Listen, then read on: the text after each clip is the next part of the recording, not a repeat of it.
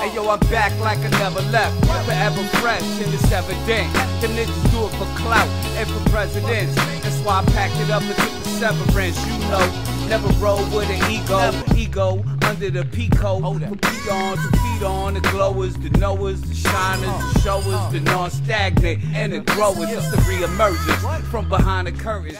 Once again, it's back the OG Boricua Don Dada. Y'all already know what it is, man. MLW Draft Talk, my favorite part of MLW. Um, this one, we have already said the whole Matt Cardona thing, uh, Zack Ryder, Mr. Woo Woo, Long Island Iced Tea, whatever. We're not feeling it, right? But let me try to let me try to keep it 100 with you real quick about what I do think that Matt Cardona can do for MLW. We've seen a a chain of, of departures from MLW.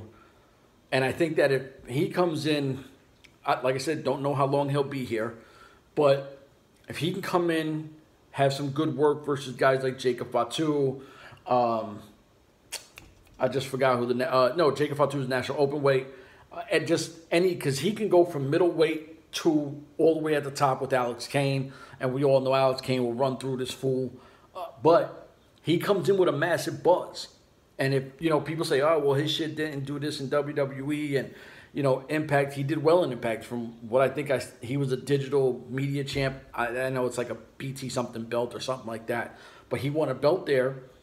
Uh, he was, I definitely will say that he had a, a, a decent stint in WWE, which is the Mecca, and now MLW. So what do you bring to MLW? My only thing is you kind of paired up with MSL, who's a bum. You know, like that guy hasn't produced a winner ever. You know, anything he does the flop.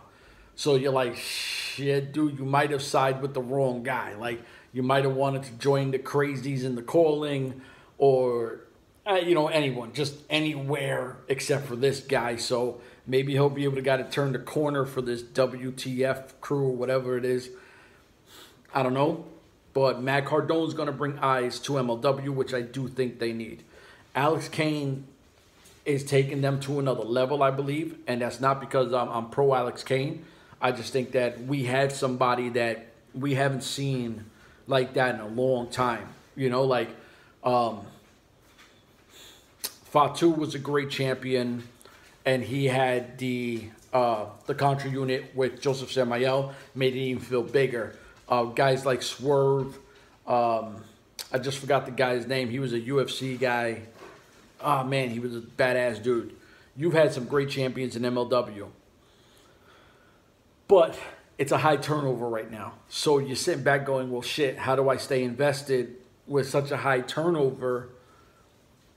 We're hoping that the O'Shay Edwards, the Kevin Blackwoods, the Love Dogs, the now Mark Cardona, um, Becca, you know, all these these specific people to take that next leap in MLW and have the product once again be super strong. You know what I mean? Like, listen, SST is fire.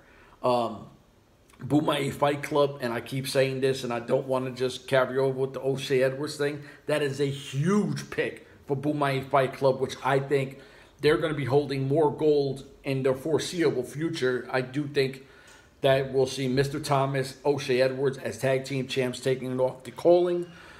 But Matt Cardona, more eyes, brings a buzz, and if you love him or hate him, it's a reaction, and that's his job. His job is to make you cheer or boo.